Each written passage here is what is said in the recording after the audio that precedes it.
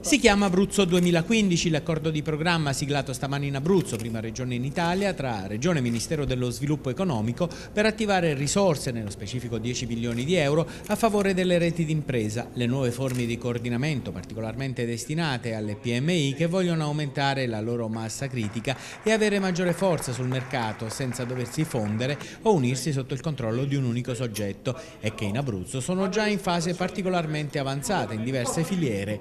Per la sottoscrizione dell'accordo che verrà attuato dall'ente strumentale Abruzzo Sviluppo, stamani a Pescara è intervenuto il ministro Paolo Romani che ha sottolineato il ruolo centrale delle piccole e medie imprese e delle loro reti per la competitività del sistema paese. Ma il nostro tessuto correttivo è fatto di micro, piccole e medie imprese, 4 milioni e mezzo sono la struttura eh, del nostro paese in termini industriali e ti dico che, che Presidente che all'estero quando noi andiamo in delegazioni il modello italiano è invidiato perché è il modello che noi possiamo esportare assolutamente nei paesi in via di sviluppo. È qualcosa di più di un protocollo, è un accordo di programma, è una linea finanziaria che non ha bisogno di ulteriori eh, ratifiche,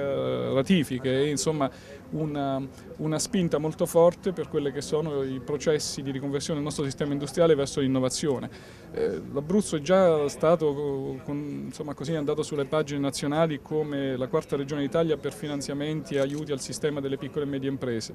Eh, in termini relativi eh, sarebbe così, in termini assoluti, cioè se facessimo un confronto, in comparazione in termini percentuali saremmo la prima. Questo è un ulteriore direi, lavoro portato a termine dall'Abruzzo Sviluppo e dall'assessorato allo sviluppo economico che hanno fatto un ottimo lavoro. Siamo la prima regione italiana a, eh, ad approfittare di questa nuova legislazione che c'è sulle reti d'impresa, che è una fortissima spinta innovativa che in Abruzzo tra l'altro ha un altro valore, cioè quello di portare le imprese a costituire veramente delle reti e non come si diceva nel passato, si è parlato per sempre di fare sistema, di fare delle reti, per, la, per adesso in Abruzzo se uno fa delle reti d'impresa ha un vantaggio sostanziale per finanziare quelli che sono i processi di miglioramento produttivo.